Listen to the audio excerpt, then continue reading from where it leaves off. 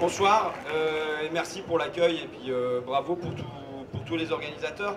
Euh, je, vais juste proposer de, se demander quel est le sens de la bataille qui est en, ce moment menée sur la, sur la loi El Khomri quand il y a des mouvements comme ça. à la fois le sens du mouvement sur la loi El Khomri et de Nuit debout. Pas assez fort, si, si, ça va. Euh, quand c'est- quand il y a des mouvements comme ça, ça prend des sens qui, sont des sens multiples. Je vais en, tirer deux. Euh, pour moi, le sens de ce qui se passe au niveau de la loi El Khomri, il s'agit de sortir de 1983. Euh, Qu'est-ce que c'est 1983 C'est le moment où la gauche décide, euh, en tout cas le Parti Socialiste, pour être plus exact, décide de se mouler dans l'Europe, de, de- de renoncer à sortir du système européen, de renoncer au protectionnisme, et où François Mitterrand énonce cette phrase, il n'y a qu'une seule politique possible. Et cette phrase fait évidemment écho à la phrase de Margaret Thatcher, il n'y a pas d'alternative.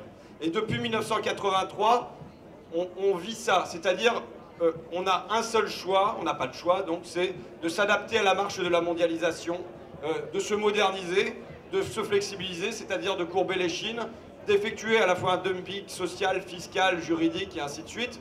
Et euh, je pense qu'il y avait une phrase de Lionel Jospin à l'époque, qui était premier secrétaire du Parti Socialiste, et qui disait euh, euh, nous, ouvrons nous ouvrons une parenthèse libérale. Tout l'enjeu aujourd'hui, c'est de mettre un coup d'arrêt à ça et de sortir de la parenthèse libérale. Tout à l'heure, énoncé qu'il y avait un manifestant qui à Paris se, se avec une, une- une pancarte pour les 20 heures, pour travailler 20 heures par semaine.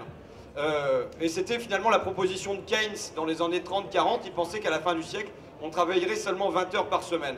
Et l'histoire allait dans ce sens-là. Jusqu'à 1983, on a une réduction assez massive du temps de travail. On passe par exemple de 65 à 60 ans. Et on pense et on pense qu'on va aller, dans les sondages, les Français pensent qu'on va aller vers 55 ans. Et ils ont réussi à faire aller l'histoire en sens inverse. Eh bien, il faut qu'on on trouve le moyen d'être assez fort pour remettre l'histoire dans le sens qui nous convient et pour que euh, le, progrès signifie encore quelque chose sur le plan social et pas seulement sur le plan technique. Donc ça, c'est la première chose. Et je poserai une deuxième chose sur le sens des nuits debout euh, et le sens des nuits debout et des syndicats. Euh, pour moi, euh, il y a un mouvement progressiste seulement quand on parvient à la jonction de deux classes, la- la- les classes populaires et ce qu'on peut appeler la petite bourgeoisie intellectuelle ou, et ainsi de suite.